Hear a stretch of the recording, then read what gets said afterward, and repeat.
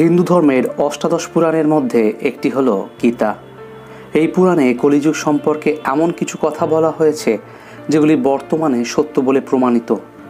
হিন্দু শাস্ত্র মতে এখন কলিযুগ চলছে, আর এই সময়ের পরিস্থিতির দিকে লক্ষ্য করলে বোঝা যাবে যে সেই সমস্ত ভবিষ্যৎবাণীগুলি একেবারেই সত্য ছিল। নমস্কার বন্ধুরা, আপনারা দেখছেন লাইভ গোল বাংলা। যারা প্রথমবার আমাদের চ্যানেলটি দেখছেন, অবশ্যই চ্যানেলটি সাবস্ক্রাইব করে বেল আইকনটি ক্লিক করে দিন।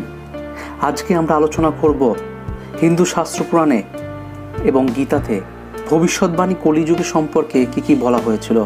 চলুন আলোচনা করা যাক। গীতায় বলা হয়েছে যে, দয়া, সহিষ্ণুতা, সত্যবাদিতা এবং ধর্ম এই সবগুলি কলিযুগে মানুষের মন থেকে ধীরে ধীরে দূর হয়ে যাবে। কলিযুগের মানুষের সম্মান বিচার করা হবে একমাত্র তার অর্থ সম্পত্তি দ্বারা। আচ্ছা বন্ধুরা, এটা কিন্তু আজকের দিনে আমরা যদি একটু তাকিয়ে দেখি চারিদিকে, তাহলে কিন্তু আমরা এটি সত্য প্রমাণিত, তার প্রমাণটাও কিন্তু আমরা পেয়ে যাচ্ছি। কারণ সমাজে কিন্তু সেই সম্মান পায় যার কাছে টাকা আছে। আর যে গরিব, সে কিন্তু এই সমাজে সম্মান পায় না। সে যতই শিক্ষিত হোক না কেন কলিযুগে একজন পুরুষের পুরুষত্ব এবং নারীর নারীত্ব নির্ধারিত হবে তার যৌন ক্ষমতার ভিত্তিতে। গীতায় আরও বলা হয়েছে, মানুষের আধ্যাত্মিক চিন্তাধারা নির্ভর করবে কিছু বাহ্যিক আচার বিচারের মাধ্যমে।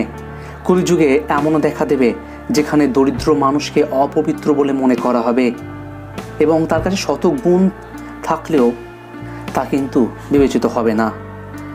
কলিযুগে সামাজিক সুনাম অর্জন করার মাধ্যমে একমাত্র লক্ষ্য হয়ে উঠবে ধর্মচর্চা। প্রাচীন হিন্দু শাস্ত্রে এও বলা হয়েছে যে, দুর্নীতিপরায়ণ মানুষদের মধ্যে সবথেকে নিকৃষ্ট ব্যক্তি সেই অর্জন করবে রাজনৈতিক ক্ষমতা। গীতায় বলা হয়েছে, মানুষ সর্বশান্ত হয়ে উঠবে বিভিন্ন প্রাকৃতিক বিপর্যয় এবং খরার কারণে।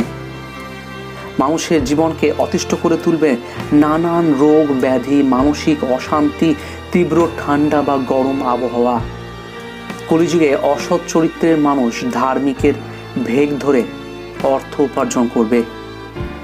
আপনাদের কি মনে হয়, এই ভবিষ্যৎবাণীগুলি আজকের দিনে ঘটছে না? আপনাদের মন্তব্য অবশ্যই কমেন্ট করে জানান।